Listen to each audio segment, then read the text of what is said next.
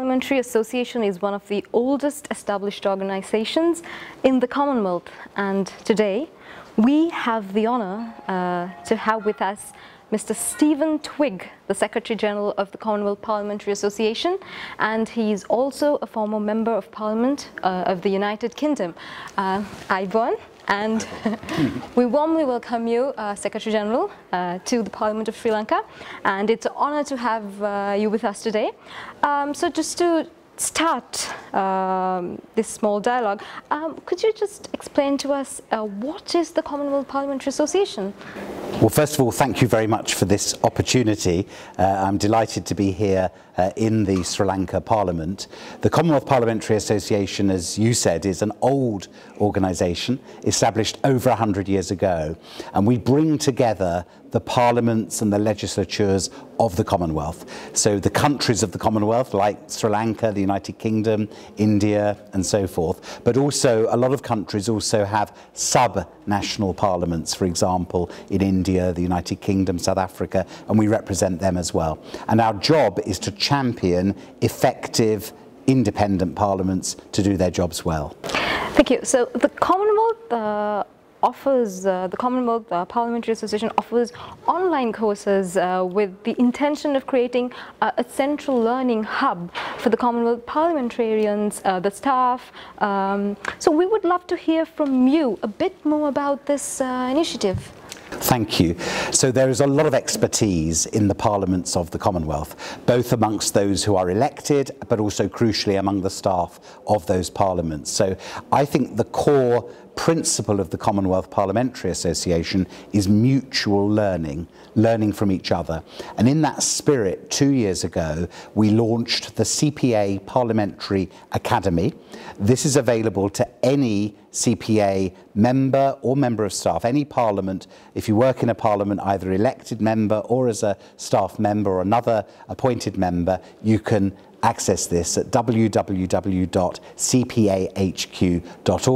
and it is a suite of courses to support parliaments to do their job well. Introductory courses, courses about parliamentary procedure, but also courses on important issues like the Sustainable Development Goals, a course we'll be launching later on this year, courses to support more women to be members of parliament, courses to support speakers and presiding officers, which is a course that we'll be developing and launching very, very soon.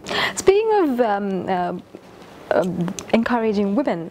Uh, how does the Commonwealth intend to ensure that there is more youth uh, and there's more gender equality and diversity among the parliamentarians, um, among the parliaments uh, and parliamentarians, uh, also staff uh, in the Commonwealth?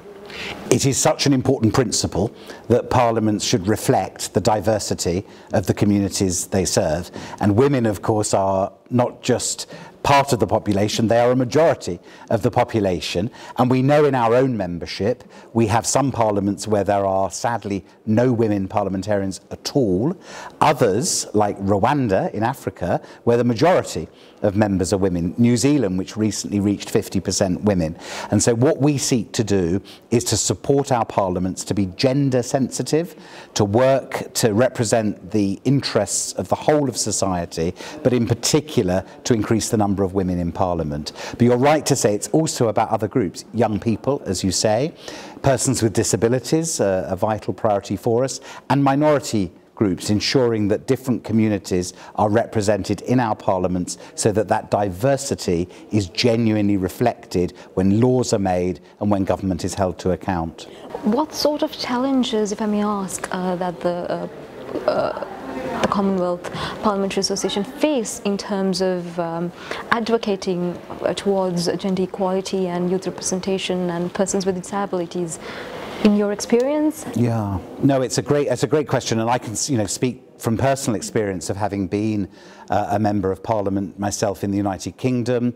We have seen in recent years in the UK a big increase in the numbers of women elected to parliament, but if you look back just 30 years, the numbers were much, much smaller.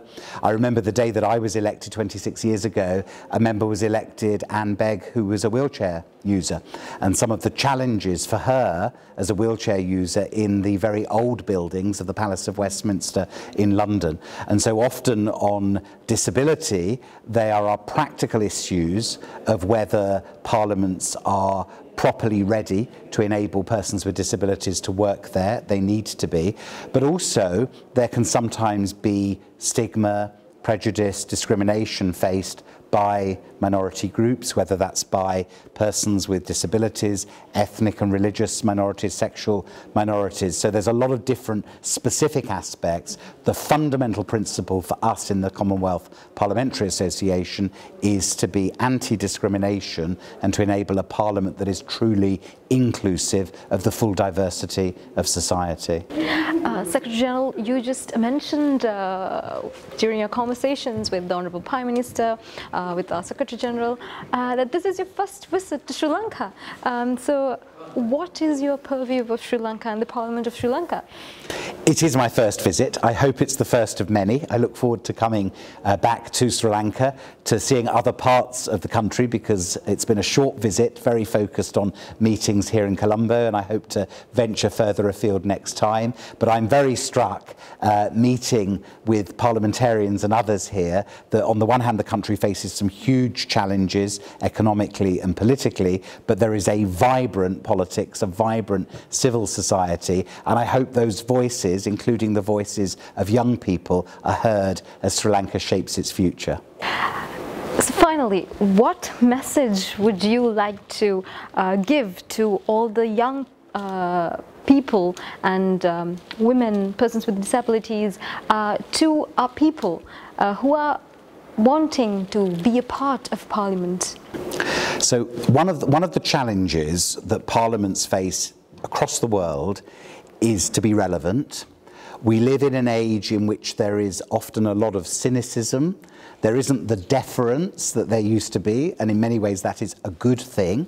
But parliaments have to adapt and change if they're to remain relevant, and in particular, to reach out to young people, to reach out to those from lower income communities, to reach out to women, to minorities, to be genuinely representative. And part of that is about who gets elected to parliament, that that should reflect that diversity. But part of it is also outreach. We were talking previously about outreach and education, the positive use of social media uh, by parliaments and by parliamentarians to reach out to people. And if those things are done, then I remain optimistic that we can really engage the full diversity of society here in Sri Lanka, in the United Kingdom, and in all of the other countries of the Commonwealth in the future. Thank you, Secretary General. And with that, uh, we uh, come to an end. Given our short uh, interview. Uh, like you said, we hope, uh, even though this is your first visit to Sri Lanka, this will be the first of many more to come.